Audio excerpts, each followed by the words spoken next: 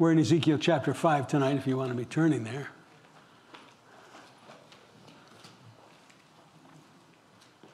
Who are Ezekiel's contemporaries? Daniel, Jeremiah. Daniel and Jeremiah are contemporaries of Ezekiel at this time. And God has given the nation so much time to turn. And, and, the theme of the book of Jeremiah is return to me. God is crying out for his people to return, to return, to return. And yet it's falling on deaf ears and hard hearts. You ever do a study on the revivals in history, some of the major revivals? The Layman's Revival. Anybody know about the Layman's Revival? 1857 in New York City. The Dutch Reformed Church had a church in New York City that they were abandoning, and they left it to this layman to just hold a series of uh, meetings, prayer meetings. Jeremiah, somebody, I forgot his last name, I'm sorry. Um, he started out, nobody showed up. Then it was six men. But it was a very, very dark time in our nation. Unemployment was very, very high. Crime was high. I mean, it was significant social problems. And so God had the ear of a lot of people. And that prayer group that began with one and six, and then became thousands. And then there were prayer meetings that started all over the country as a result of that 1857 revival. But it began because those prayer meetings were actually centered around what aspect of prayer? No. What? No. Repentance. Every revival. If you study revivals and and, uh, you know, there's so much information available to us today that you could just click away. But if you study all the revivals, they all were preceded by repentance, true repentance. Where we felt the weight of our sin and our rebellion against God. And, and, and unfortunately, Israel did not come to that place of repentance. The rebellion, their hearts were so hard towards God but yet they thought they were okay. And now we come to this uh, section of the text where God is going to prescribe the judgment that He's bringing upon them. It's a threefold judgment. And these are God's people. What, how many nations has God entered into covenant with? One. With, with all the people of the world through the new covenant in Jesus Christ, individually, right? But as far as a national relationship, a covenant relationship. God only has a covenant relationship with one nation in the earth. And who's that? Are you sure about that? It's not the America? A lot of people are confused about that.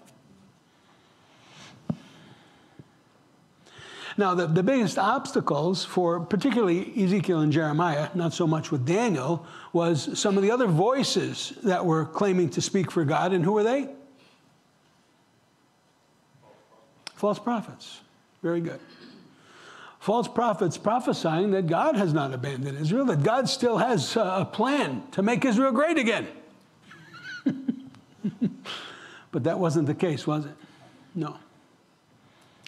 We live in very, very, very perilous times. What happened yesterday? I'm sorry? Three explosions, three underwater explosions. Coincidental? No, no. Nobody, no, no coincidence at all. Three underwater explosions that destroyed both pipelines, Nord Stream 1, Nord Stream 2. Russia, Russia, Russia. Does Russia stand to benefit by the destruction of these pipelines? No. Not in any way. But yet Russia's being blamed for it, aren't they? There's some other theories going around. That's right. And there's some information on previous statements that Biden and some of his cohorts have made that they would deal with the pipeline one way or another. Isn't that interesting?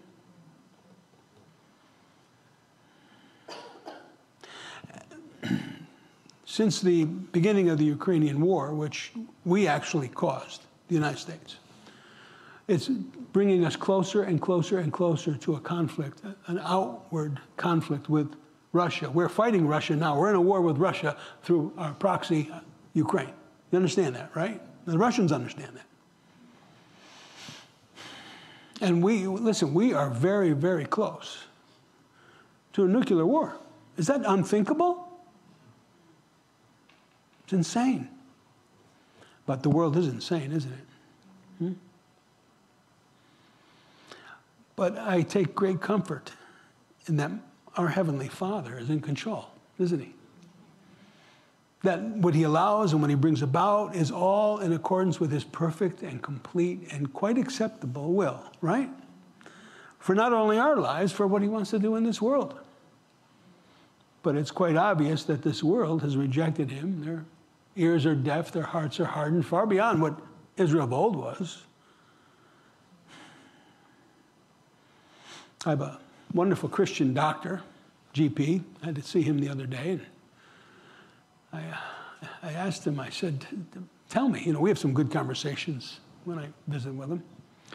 How do you explain these physicians justifying the mutilation of our children through these sex change operations for eight, nine, ten year olds?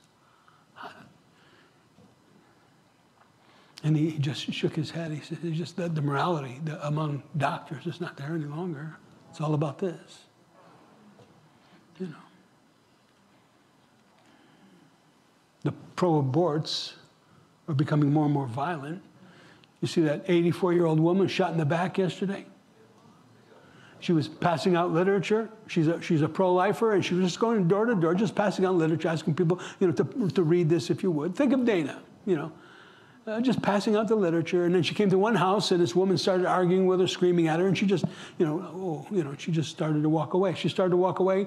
Whoever, whether it was husband or whoever this man was, who ran in the house, got a gun, shot her in the back. Thankfully, it wasn't a good shot, but he shot her in the shoulder. But we see the violence that's being allowed all over the nation now against you fascists. That's what they think we are, don't they? Now, what are we supposed to do when they persecute us for righteousness' sake? Rejoice. Rejoice. Rejoice. For great is your reward in heaven. Yeah. Yeah. But it is, it is a very difficult, difficult time that we're living in now. And as I have shared with you and will continue to share with you, we are all very desperate in need of what? The Holy Spirit. The Holy Spirit. There, there needs to be an outpouring, a baptism of the Holy Spirit again. Not just in the nation, but, but uh, are you desperate for the Holy Spirit? Do you hunger and you thirst for a work of God again in your life? To empower you and to prepare you for those things that are coming. Prepare me for what you have prepared for me. And we, beloved, I'm going to be emphasizing that more and more. I was listening to my, uh, my, I consider my pastor, Pastor Chuck Smith, although I didn't attend his church, I listened to him daily, sometimes twice a day. And uh, 1980, no, 1994, he recognized what was happening in the culture and he said, Our culture is, is so corrupt and in such a fall that if the Holy Spirit doesn't come and begin a revival once again, we're doomed to destruction. He said that in 1994. It's all true, isn't it? What, what percentage of the church read their Bible on a regular basis? 9% of professing evangelicals read their Bible on a regular basis. What does that say? Faith comes by hearing by. How many people go to church on a Sunday and don't even bring a Bible? Bible's not even spoken of. Yeah, Joel Osteen may hold it up at the beginning of the service, but after that, you'll never hear a word spoken from the word. That was Ezekiel's day, Jeremiah's day. Oh, they all claimed to be God's people, God's nation. Temple worship didn't decline. It's just that the paganism crept in to the church more and more. And if you haven't already, turn off your cell phone or silence it. Thank you. But we get into chapter 5, and we have already looked at this uh, judgment that Ezekiel had to play out in his life. You remember what that was? A day for every year of judgment. He had to lay on his right side, lay on his left side. For how many years of judgment were there? 340 years of judgment. And we looked at all of that and we said, well, they did 70 years. And then we did some math. And, you know, figures don't lie, but sometimes we manipulate the figures. but we didn't do that this time. But, but it was amazing how when we looked at that, and God said that there would be 70 years of judgment, but if the judgment wasn't completed and they didn't turn, He would multiply their judgment how many times? And then we did all of the mathemat- mathematical calculations, and we said that, wow, the end of the judgment would be when? May 5th, the fifth month, which is May in the year 1948. Isn't that amazing? Wow. Beyond coincidence. Hmm? Yeah. But now, uh, as Ezekiel was told to act all of this out, he says, Oh, by the way, Ezekiel, when you do this, I want you to shave your head and shave your beard, and I want you to collect the hair. It's a sign of mourning, a sign of humiliation, a sign of distress, a sign of disgrace. It's the shaving of one's head and one's beard. And he's going to tell him what to do with the hairs from his head and from his beard because they're going to represent the people of Israel.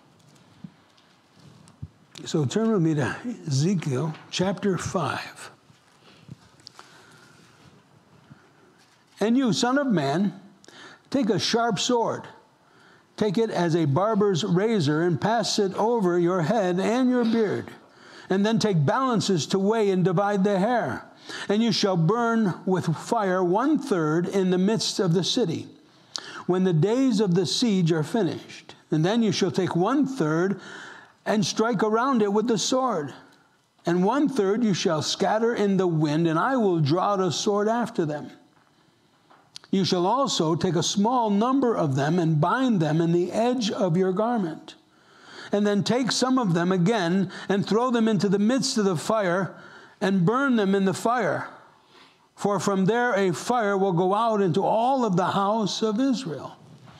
Now, he's going to explain to us in a moment that these judgments, are, these are all signs of judgment that God is bringing upon his people. The wrath of God is coming upon the people of Israel for their continual rejection and rebellion for his ways. How many of our politicians today claim to be good Christians or good Catholics or good this in some religion that they embrace, yet their lives are wretched? And they embrace everything that God says is an abomination. What's precisely what Israel was doing? You don't obey my statutes, my commandments, my testimonies, my word. You draw near unto me with your lips, but your hearts are far from me. Boy, doesn't that describe today? If, if there was ever a need for a revival, it is today. I pray for one. We should all pray for revival. But, but I don't see any indication of an end times revival in the scriptures. Do you? No, I, I, it's just not there. Oh, okay, because it's absent, it doesn't mean I shouldn't pray. But you know, revival can occur in each of our hearts. In each of our hearts. And we each need to be seeking God and the power of His Holy Spirit as never before. If we're going to be able to glorify Him and get through the days that lie ahead victoriously, not sitting and sulking and souring,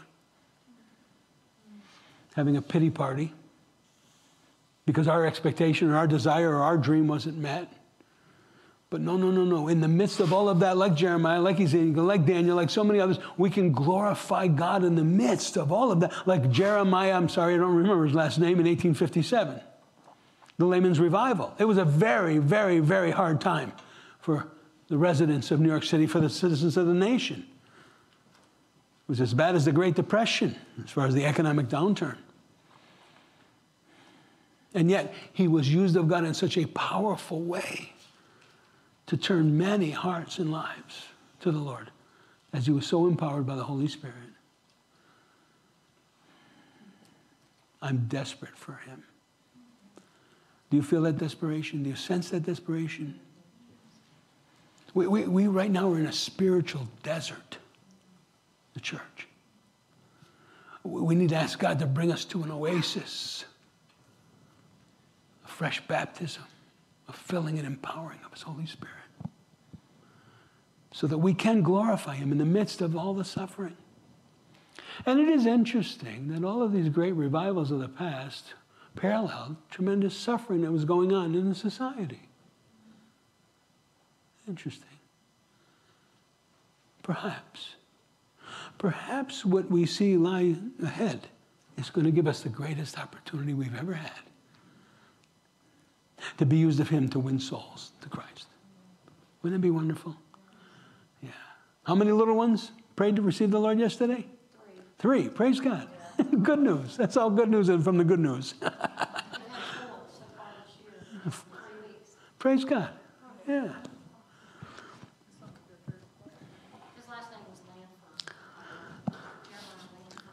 That, that's who it is. Yeah, Lanphier. Yeah. You looked it up? Yeah, yeah. Yeah, yeah. And you know, after that, and, and I mean, there were thousands and thousands and thousands of people that were saved during that time. And God used this layman to bring this. The, the churchmen of the Dutch Reformed Church abandoned the church and said, Yeah, why don't you just lead a prayer group, okay? And you're just a nobody. You're just, uh, you, how long have you been coming to this church? Okay, good. You, you lead the group. and wow, what God did, yeah, with a willing heart. You know, oh God, would you will to do it again, Lord? We need it. So the judgments are explained. Verse 5 Thus says the Lord, This is Jerusalem, and I have set her in the midst of the nations and in the countries all around her.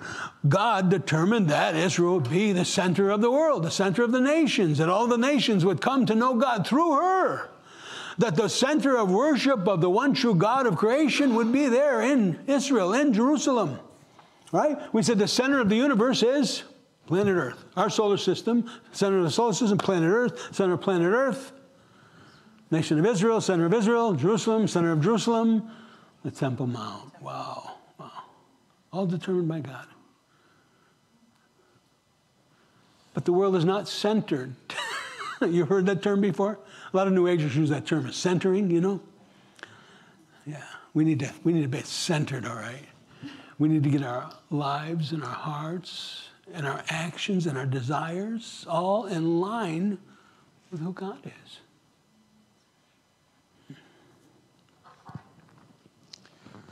Yes, they put Jerusalem all around the center of the nations, but she has rebelled against my judgments in doing wickedness. What? More. Her wickedness was worse than the pagans who were around her. What, is, what does Europe say about our wokeness? Anybody know? They, they can't believe how woke we've become. They joke about our woke because it's so bad. Europe, we're far worse.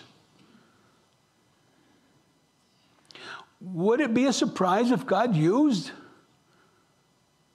China and Russia to judge us? Would that be a surprise? Or would that be consistent with God's ways? It would, wouldn't it? It would. Do you know that, that, that, that although Russia has very little to offer as an economic powerhouse, it's not. The, the only way they, uh, what, what, how they, they're referred to as a gas station uh, on steroids. They, they provide energy to the world, and that's how they gain their income, and that's, that's all it is. They're the world's gas station. Okay? But uh, as an economic powerhouse, they are not. But as a nuclear power, they exceed us in their nuclear capability. Do you understand that? And you know, by the way, their nukes are so fast. What do we call them? Supersonic, hypersonic. Hypersonic. We, we have no way to defend against them. No way. Impossible. Can you imagine? And now we've got this man backed into a corner. You know, he's in a desperate place. And desperate men do desperate things, and he's not thinking right. You know, there's been, what would they say, no less than six assassination attempts that have all failed. Why do you think they've failed? Could it be possible that God is going to use him? Did God use Nebuchadnezzar? Yeah, surely he did. Yeah. God is the same yesterday. Yet she has rebelled against my judgments and doing wickedness more than the nations and against my statutes, more than the countries that are around her. For they have refused my judgments and have not walked in my statutes. Therefore, thus says the Lord God, because you have multiplied disobedience more than the nations that are all around you, and have not walked in my statutes, nor kept my judgment, or even done according to the judgments of the nations that are all around you. Therefore, thus says the Lord God, indeed, I, even I, am against you, and will execute judgment in your midst in the sight of all the nations. Do you think there's a parallel? Yes. What parallel? Somebody said yes already before I asked the question. This nation. Yes, yes. There's a parallel. There's a stark parallel, sobering parallel between Israel of old and the United States today. What was, listen to me now, as we read the book of Jeremiah, as we read Daniel, as we read Ezekiel, we read Isaiah, what was God's heart towards Israel at this point? Huh? No, what was God's heart right now? Angry. He is angry. His righteous anger is ignited. And it's his wrath that he's pouring out upon these people whom he made covenant with. Oh, he's going to he's going to save the nation for his namesake, not for their sake. Because he made a covenant with them unilaterally. He will, he will, he will. But he's going to judge these people. What did he tell Jeremiah no less than three times? Don't pray for these people, Jeremiah. Do not pray for these people any longer. I think the verdict is out, and, and, and God is done with us as a culture. We're under God's judgment as a culture, but not the elect, not the church. We're not. But we're, we're still here. Yes, yes, yes. I woke up thinking, gosh, the Feast of Trumpets is come and gone, and I'm still here. but there's work to be done. So perhaps next year. But we got a lot to do between now and next fall. right?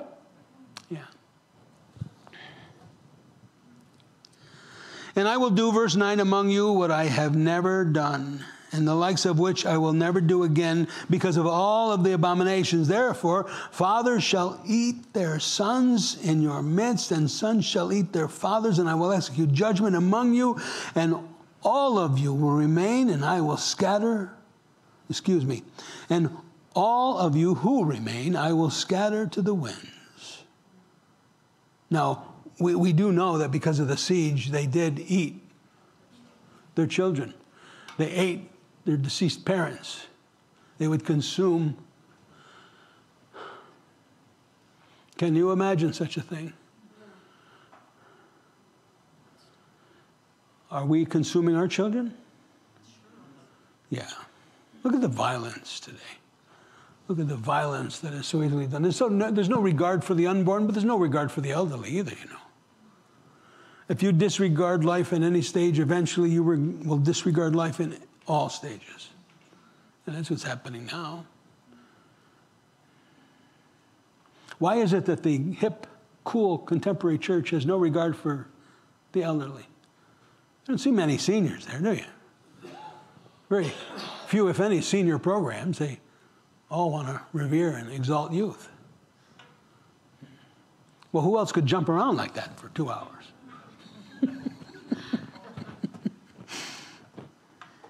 Verse 11, therefore, as I live, says the Lord God, surely because you have defiled my sanctuary with all of your detestable things and with all of your abominations, therefore I also diminish you. My eye shall not spare, nor will I have any pity. This is Israel he's speaking of. Where does that leave us? One third of you shall die by the pestilence and be consumed with famine in your midst, and one third shall fall by the sword all around you. And I will scatter another third to all of the winds, and I will draw the sword after them. Those, those who escape and those who try to flee the city, they'll be chased down and killed by the Babylonian army. It's precisely what happened. You know, there are a lot of people talking about the fact that we're going we're gonna have uh, some, some food deprivation here. Now, I know that there's definitely going to be starvation in some of the parts of the world. It's already occurring where there are parts of the world. One good thing is there's going to be a beer shortage. You hear about that, right? no? The, the, the, yeah, you got to have you got to have wheat, right, to make beer. And the wheat production is, and we'd rather have shredded wheat than we would Budweiser, right? but, but seriously, uh, because of the starvation that was taking place, they were consuming their children. We, we have a starvation of a different matter, a different kind, a different type. It's a spiritual starvation, but it's willful. And as a result of it, we're consuming our children. As I was saying to my physician, uh, 50% are destroyed in the womb. And, and those 50% that come out of the womb how, how many died last year of overdose? Young people? 107,000. It's, it's, unbelievable.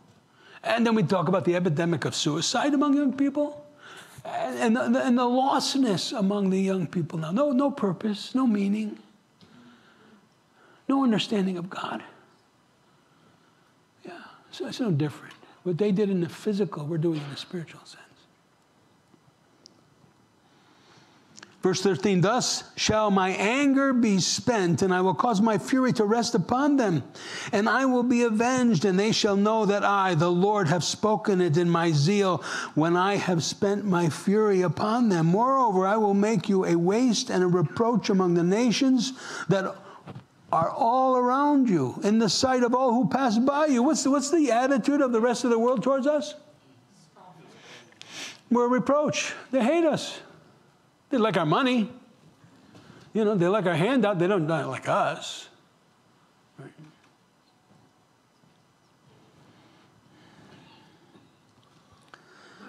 And this is God speaking about Israel, whom he loves. Israel, whom he refers to as his firstborn. Israel, who he says is his only son. Where does that leave us? Now, someone say, well, that's, that's the Old Testament. That's the God of the Old Testament. Do you see less wrath in the Revelation? Or do you see more? Do you see a greater destruction? Now, the destruction we're talking about here is a national destruction, right? Uh, previously, it was, a, it was the northern kingdom of Israel. It was limited to the northern kingdom. And, and now we're talking about the southern kingdom of Judah, and it's limited to the southern kingdom. But in the Revelation, the judgment is global. It's worldwide, far greater. And you have to ask the question do you think we're in the end times? Is there any question about that? So, if we're in the end times, then that whore, the spiritual whore of Babylon, she, she has to exist now, doesn't she? Well, who is she? That, that's the question you have to ask. Who is the whore of Babylon? It's the United States, without question without question. Moreover, verse 14, I will make you a waste and a reproach among the nations that are all around you in the sight of all who pass by, and so it shall be a reproach, a taunt, a lesson, and an astonishment to the nations that are all around you when I execute judgment among you in anger, in my fury, in furious rebukes. I, I, the Lord, have spoken. When I send against them the terrible arrows of famine, which shall be for the destruction, and which I will send to destroy you, I will increase the famine upon you and cut off your supply of bread. So I will send against you famine and wild beasts, and they will bereave you. Pestilence and blood shall pass through you. And I will bring the sword against you. I, I, the Lord, have spoken. How do we process what we know of God and the ways of God? And how He has worked in the past with His nation, Israel, and what is happening today. Should, what, what, what, let's have an open conversation here. Should we expect anything different from God? He's a righteous God. Now, what would bring about revival? What did we say precedes every revival? True repentance. We acknowledge our sin, take responsibility. But as in Jeremiah's ministry, as in Ezekiel's ministry, there were a plethora of false prophets declaring something totally opposite. And what were the people believing? The false prophets. Now, let me, uh, I'm going to show you a video. I don't know these people.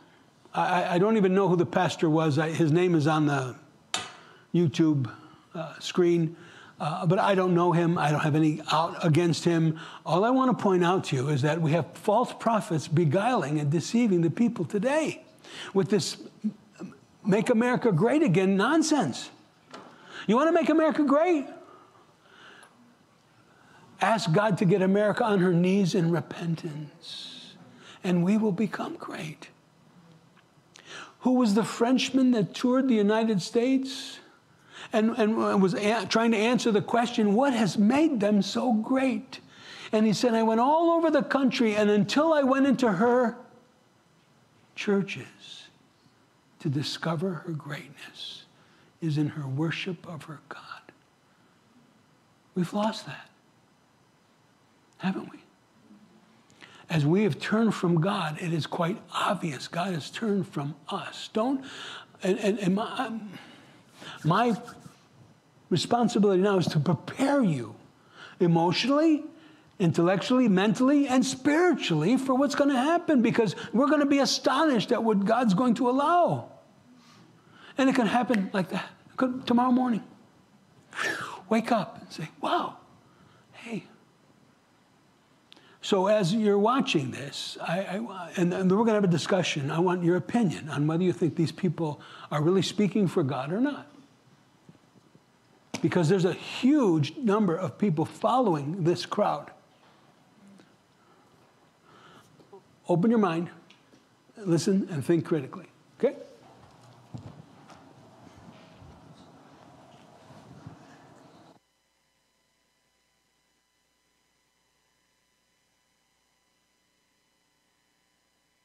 September of 2000, I was in our, our Wednesday night service and uh, I was about to go up and, and preach, do the message. And I walked to the platform, and a wave of dizziness hit me. I literally, at times, uh, staggered around the room because I, I just, I just couldn't, I couldn't even, I could really not focus at times. And I, I, I knew early that on that, that God was trying to impart to me his heart for America. And it was, as I look back often, I was like, you know, why didn't I feel anger? Why, why did I feel love and a broken heart rather than his wrath? I didn't feel wrath. I felt the love of a father for a prodigal and I know at one point, and I know you're not supposed to let the flag touch the ground, but I was out of control, okay. I went to the over in the corner and I, I grabbed a flag we had and I wrapped it around me and I laid on the floor. And I sobbed and I knew I was crying with, with him. I knew we were crying together for this nation, Gene. And it became so intense that at one point I said, and I meant this. This was not hype or I'm not trying to be sensational here. I said, God, please, you have to stop this because my heart is literally going to break and I'm going to die. And I said, please don't kill me. Now, I get, you know, sometimes you just get in a situation you think God may not know what he's doing, you know. but I was afraid. I, I was hurting here. I thought, my heart is going to break. I'm going to die. So for three and a half hours, this happened. And here's what he said to me at one point. And I know this, is, this was God. And I could never, ever, ever be convinced this wasn't God. He said, I must have this nation. I must have this nation back.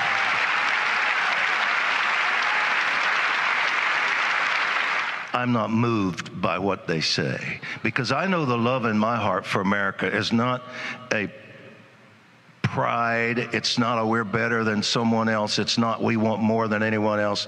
The love I have for this nation was put there by God. And here's what he said to me for what I'm going to do in this hour in the nations of the earth, the harvest that I am going to reap, I must have this nation. I learned a long time ago about the American dream that what we did is we took God's dream for America and perverted it into American dream that's all about things and all about being the biggest and the best and the pride that came in. And I'm proud to be an American and I sing it and I cry when I sing it. But I'm not proud to be an American because I want to be the biggest and the best. I'm proud because I know God raised up a nation under Him with His heart to spread the gospel of the kingdom of Jesus Christ to all the nations of the earth. Our destiny is not over. He is going to save this nation. And a third great awakening is coming to this nation. And it's going to give us the transformation that we need. There is at least the harvest that's coming is at least a billion soul harvest. At least.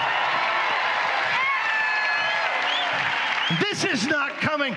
We're not asking him to do this and fighting with him for what needs to take place in order for that harvest to happen. We're not doing that to try to talk him into. So we're not trying to convince God, come on, do this. We have this passion because of his heart. That's right.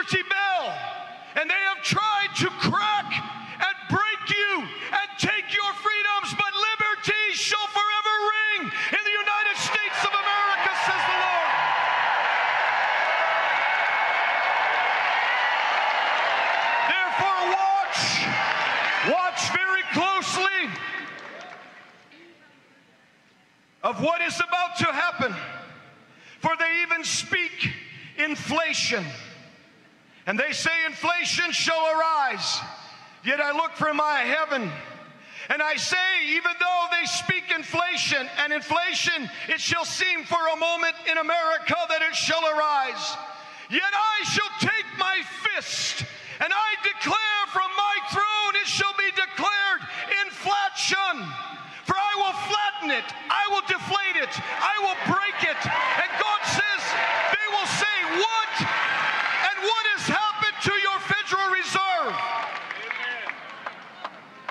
Because I will raise up something new.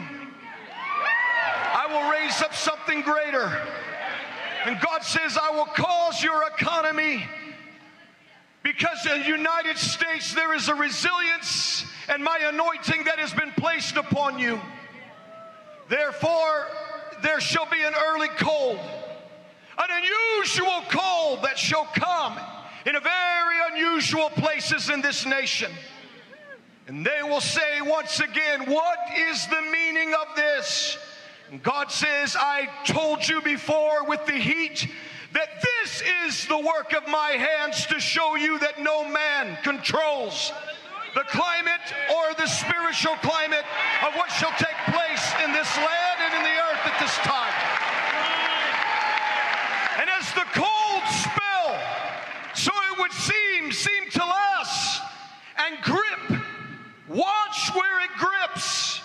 It would seem as though it will not end, but then suddenly it will lift and you will say, What is this? For we've had enough of the heat. We've had enough of the cold. And God says, That's what I'm looking for. Is to hear my people cry out, Enough is enough, that you will turn unto me, says the Lord.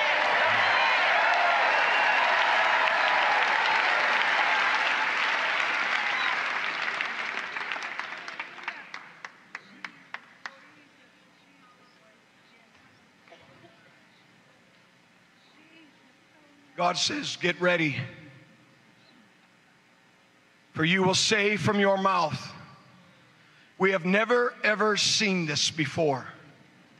This has never happened in my lifetime or even what I have read. Because God says it is time to dream again. Because I am turning the captivity of this country. And you will say from your mouth, Look at what the Lord has done. He has done great things for us. And God says, Your shouting has caused great damage from the very heart of this nation. And I say, as it was in the days of Moses, the Egyptians, I spoke to them and said, The Egyptians that you see today, you will not see again. And God says, This is what I speak of. There are things that the enemy is trying to grip you with, America, with socialism and communism, and they will lose their grip, and this country will never face it as it has been in this season. Were the walls ever rebuilt, says the Lord, in the days of Jericho? They are falling. And you will even see one who will arise in this time. And they will say, for they are afraid of them, those who have lied. And they will say, when this one arises very soon, What shall we do now? This one who has risen, who spoke lies, that is now telling the truth. For they will shake when this one was considered and even was a foe shall now become factual and shall run their mouth, open their mouth because of my fear that shall grip them. Come on, shout unto God one more time. Shout unto God one more time. You know, the Lord showed me something today in, in Judges 6 that it reminded me of.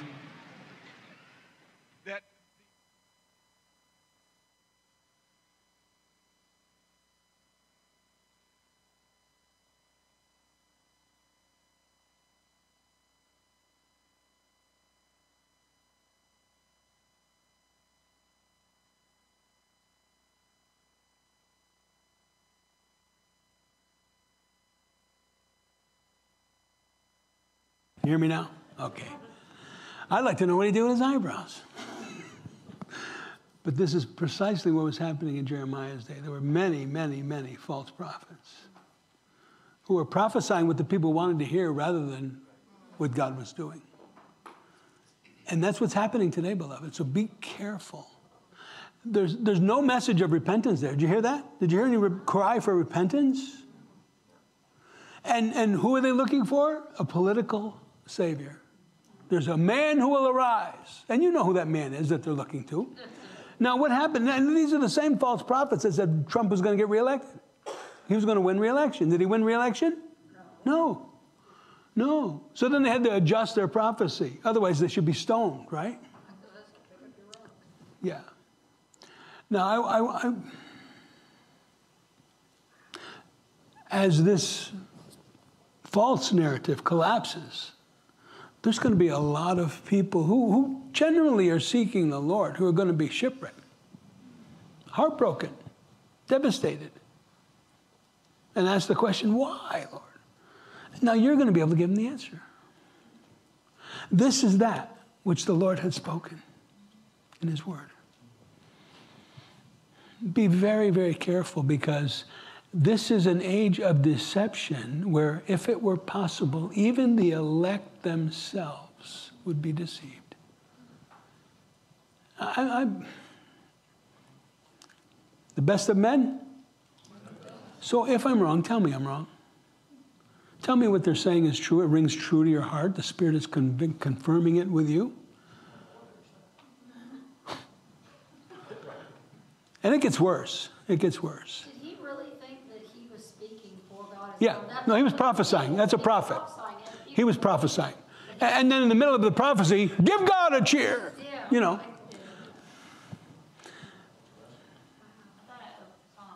But you see, we're, we're, we're immune to a lot of this that's going on, but this, this is sweeping the church. It is. A lot of people are being beguiled, being deceived by this. Because, listen, they're being led by their emotions, what they would desire, rather than their thinking, what the Word of God has to say. It's been going on for decades, It's been going on for decades, but we're hitting a crescendo in all of this. You know, the Brownsville revival, Rodney Howard-Browne, you know, all of that craziness that was taking place. And all of that being used of the enemy. Now, you, you may even see some amazing signs and wonders being done, but they won't be done by God. God's going to allow the enemy to perform signs and wonders to deceive even the elect if it were possible. Don't you think the signs and, signs and wonders are happening? Say, say it again. Signs and wonders are happening from God. One's happening in Florida right now. Oh, yeah. The Lord's giving plenty of signs. they said this is the worst hurricane to hit the peninsula in 100 years. No, there's been lots of hurricanes. What was the last one you talked about? Homestead Andrew? Oh, that was bad, but this is worse than Andrew. So, I mean, just in what I saw taking place in Naples before we came together tonight, it's horrific. Yeah, but the s- storm surge, I mean, cars completely underwater, homes flooded. I mean, it just the destruction.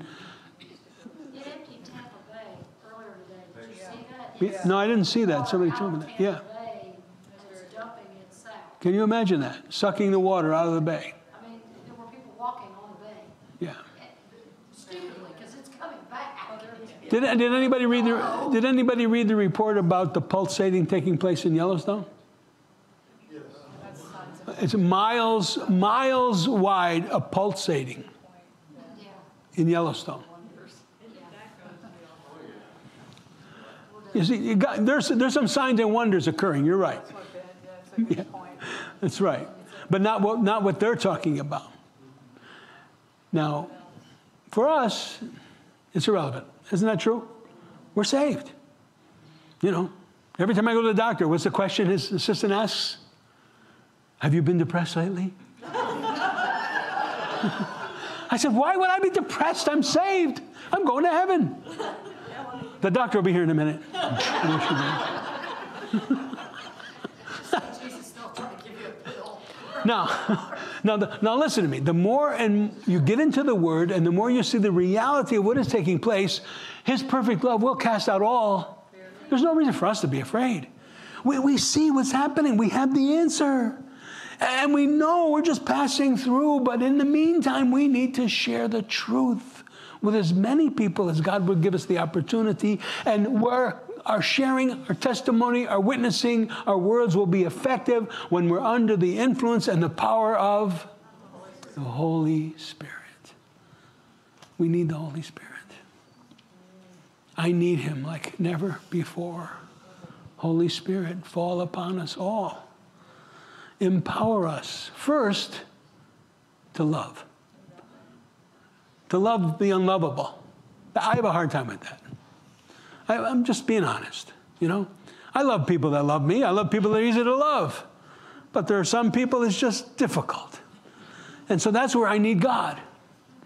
I need His love for them. Amen? Yeah. I want to pray too for a while. Uh, we still have some time. We have another, oh, 20 minutes or more.